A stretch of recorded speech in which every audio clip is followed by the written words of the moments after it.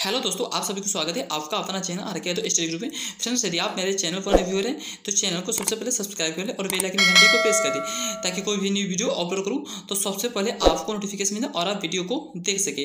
तो दोस्तों, आप सभी को पता होगा कि एस एस जो कांस्टेबल की तरफ़ से जो वैकेंसी निकल कर पच्चीस उसका ऑनलाइन अप्लाई शुरू हो गया है।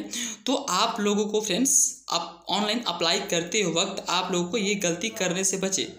ताकि आप लोगों को आगे जा कर के फॉर्म रिजेक्ट नहीं हो सके। नहीं तो फ्रेंड्स बता दें कि एस एस कांस्टेबल की तरफ़ से न्यू अपडेट जारी हुआ है कि यदि आप लोगों की कोई भी फॉर्म अप्लाई करते वक्त त्रुटि हो तो आपका फॉर्म रिजेक्ट हो सकता है। यदि रिजेक्ट नहीं होगा तो डॉक्यूमेंट वेरिफिकेशन में आप लोग को निकाल दिया जाएगा। तो फ्रेंड्स, आप लोग ऑनलाइन करते वक्त आप लोगों को इस पर ध्यान देना ज़रूरी है, ताकि आगे जाकर कोई भी दिक्कत ना हो। तो चलिए फ्रेंड्स, हम न्यूज़ के माध्यम से आप लोगों को दिखाते हैं कि क्या क्या कहा है एस एस ने। तो दोस्तों, हम आ चुके हैं यहाँ पे आप लोगों को न्यूज़ के माध्यम से दिखाने कि आप लोगों को अप्लाई करते वक्त क्या क्या सावधानी बरतनी है। तो दोस्तों, आप सभी को दिखाई दे रहा होगा कि यहाँ पे एस एस की तरफ़ से यहाँ पे न्यूज़ के माध्यम से जारी कर दिया गया है कि आप लोगों को कैसे ऑनलाइन अप्लाई करना है और क्या क्या नियम बरतना है।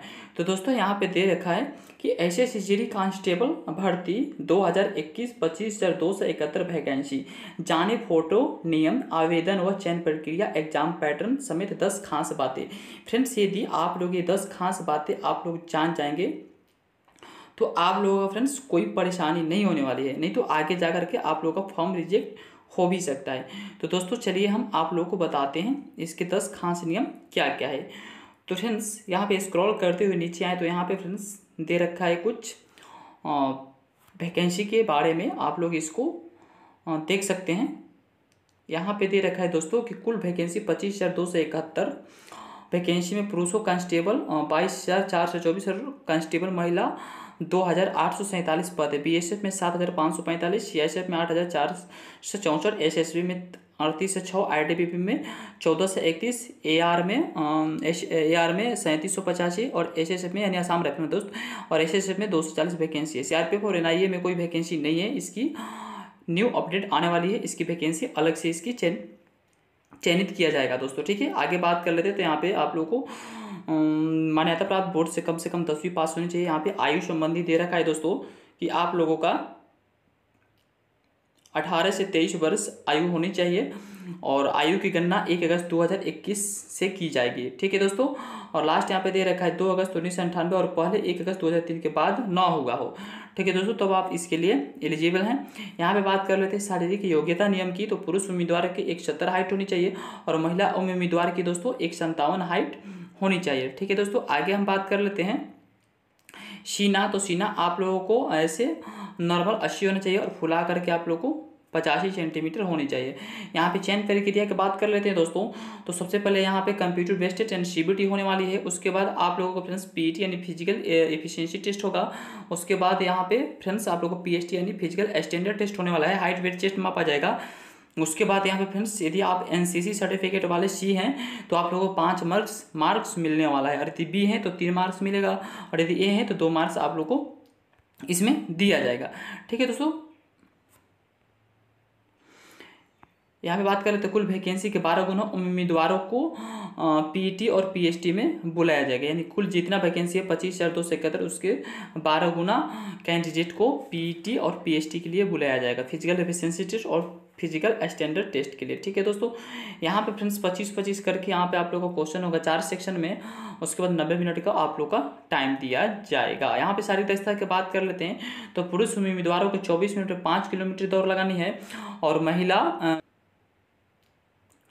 चार मिनट में आठ सौ मीटर की दौड़ लगानी है। इसके अलावा छः मिनट एक पॉइंट छः यहाँ पे दोस्तों गलती हो गया पढ़ने में। मिस्टेक हो गया। यहाँ पे दे रखा है कि पुलिस उम्मीदवारों को चौबीस मिनट में पाँच किलोमीटर दौड़ लगानी है। इसके अलावा साढ़े छः मिनट साढ़े छः मिनट में एक दशमलव छः किलोमीटर की दौड़ भी लगानी होगी। इसके अलावा इसमें दे रखा है बट ये फ्रेंड्स होने वाला नहीं है। हाँ तो दोस्तों हम आ चुके हैं यहाँ पे। आप लोगों को फ़ोटो नियम, आप लोग का सिग्नेचर कैसा होना चाहिए और फ़ोटो आप लोग को कैसे लगाना चाहिए, ठीक है दोस्तों? यहाँ पे बता दें कि ऑनलाइन एप्लीकेशन फॉर्म उम्मीदवारों का स्कैन किया हुआ फ़ोटो तीन माह से ज़्यादा पुराना ना हो। यदि आप लोग का तीन माह से ज़्यादा पुराना आप लोग का फ़ोटो हो तो जा करके फ्रेंड्स आप लोग स्टूडियो में अपना फ़ोटो खिंचवा ले।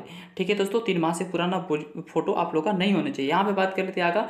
फ़ोटो जेपीजी फॉर्मेट में आप लोगों को ही चाहिए, ठीक है दोस्तों? जेपीजी फॉर्मेट में आप लोग का फ़ोटो चाहिए पासपोर्ट साइज़ ठीक है दोस्तों? में हो और इसका साइज़ बीस के बी से पचास के बी के बीच हो। इसका फ्रेंड्स फ़ोटो जो है बीस के बी से पचास के बी के बीच हो। फ़ोटो पर वह डेट भी होनी चाहिए फ़ोटो पर वह डेट भी होनी चाहिए जिस दिन फ़ोटो आप लोग को बनाया यहाँ पर डीओपी लिख करके, ठीक है दोस्तों डेट ऑफ़ फ़ोटो और उसके बाद यहाँ पे आप लोग को डेट दे देना जिस दिन आप फ़ोटो अपना खिंचवाए हैं। ठीक है दोस्तों? होनी चाहिए। जिस दिन वह ली गई हो। ठीक है दोस्तों? आगे हम बात कर लेते हैं। यहाँ पे ऑलरेडी दे रखा है कि फ़ोटो की चौड़ाई कितनी होनी। दोस्तों, यहाँ पे तीन पॉइंट फाइव सेंटीमीटर और लंबाई चार पॉइंट पाँच सेंटीमीटर आप लोग को होनी चाहिए। यही आप लोग का आगे बात कर लेते हैं। तो दोस्तों, आप सभी को समझ में आ गया होगा कि फ़ोटो की चौड़ाई कितनी चाहिए। तो तीन पॉइंट पाँच सेंटीमीटर से चार पॉइंट पाँच सेंटीमीटर की आप लोग को बीच होनी चाहिए। ठीक है दोस्तों? आगे हम बात कर लेते हैं महत्वपूर्ण तिथियाँ और फ़ीस की, क्योंकि ये इंपॉर्टेंट है, यदि आप लोग फॉर्म अप्लाई नहीं किए हैं तो जा करके जल्द से जल्द कर सकते हैं, नहीं तो इसका साइड भी स्लो चलने लगेगा। तो आवेदन की प्रक्रिया शुरू होने की तिथि सत्रह जुलाई से ये अप्लाई हो रहा है दोस्तों, और आवेदन की अंतिम तिथि इकतीस अगस्त तक है, ग्यारह बज के तीस मिनट तक, ठीक है दोस्तों? ऑनलाइन फ़ीस आप जमा कराने की अंतिम तिथि दो सितंबर तक है, और ऑफलाइन चलान जनरेट करने की अंतिम तिथि यहाँ पे चार सितंबर रात ग्यारह बज के तीस मिनट पर ठीक है? चलान के ज़रिए फ़ीस जमा करने की अंतिम तिथि सात सितंबर तक होगी। और टायर वन परीक्षा सीबीटी बाद में इसको सूचित किया जाएगा। आप लोग चेक करते रहिएगा, ठीक है दोस्तों? आप लोग को आवेदन की फ़ीस सौ रुपया देनी होगी। दोस्तों, यदि आप लोग अप्लाई नहीं किए हैं तो जल्द से जल्द जाकर कर सकते हैं, नहीं तो आगे जा कर के इसकी साइट स्लो चल सकती है तो आप लोग को ऑनलाइन अप्लाई करने में बहुत दिक्कत का सामना करना पड़ेगा। तो दोस्तों, फ्रेंड्स, आज के लिए बस इतना ही। यदि आपको वीडियो अच्छा लगे तो लाइक, शेयर ज़रूर करें। और यदि आप मेरे चैनल पर नहीं भी तो चैनल को सब्सक्राइब करें। तो फ्रेंड्स, आज के लिए बस इतना ही। जय हिंद।